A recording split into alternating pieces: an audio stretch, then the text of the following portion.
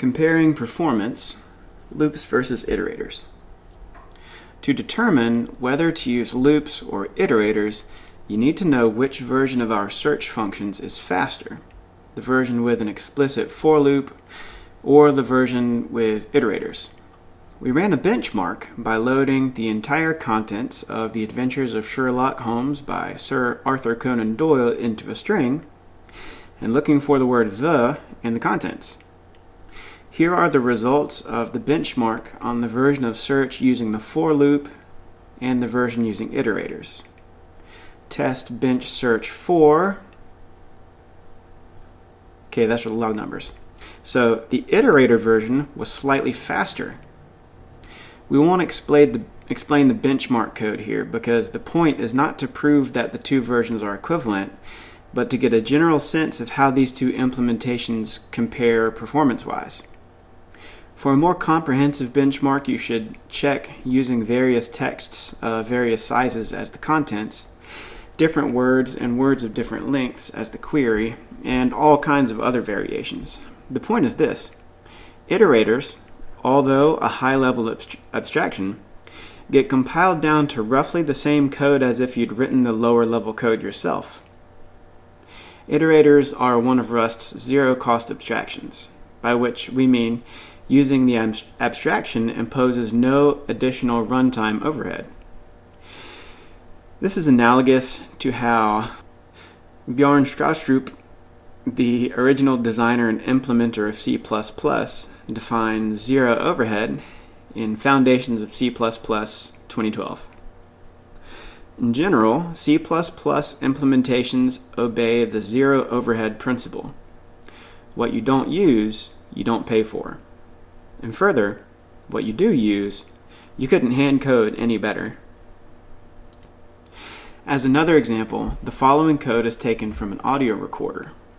The decoding algorithm uses the linear prediction mathematical operation to estimate future values based on a linear function of the previous samples. This code uses an iterator chain to do some math on three variables in scope, a buffer slice of data, an array of 12 coefficients, and an amount by which to shift the data in QLP shift. We've declared the variables within this example, but not given them any values. Although this code doesn't have much meaning outside of its context, it's still a concise, real-world example of how Rust translates high-level ideas to low-level code. Calculate the value of prediction, this code iterates through each of the 12 values in coefficients and uses the zip method to pair the coefficient values with the previous 12 values in buffer. Then for each pair, we multiply the values together, sum all the results, and shift the bits in the sum QLP shift bits to the right. Calculations in applications like audio decoders often prioritize performance most highly. Here we're creating an iterator using two adapters and then consuming the value. What assembly code would this Rust code compile to?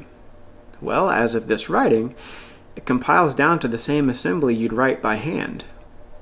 There's no loop at all corresponding to the iteration over the values and coefficients. Rust knows that there are 12 iterations, so it unrolls the loop. Unrolling is an optimization that removes the overhead of the loop controlling code and instead generates repetitive code for each iteration of the loop. All of the coefficients get stored in registers, which means accessing the values is very fast.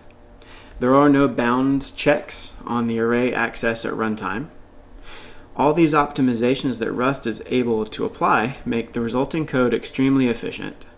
Now that you know this, you can use iterators and closures without fear.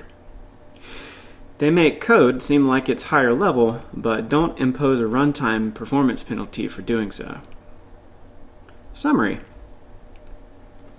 Closures and iterators are Rust features inspired by functional programming language ideas.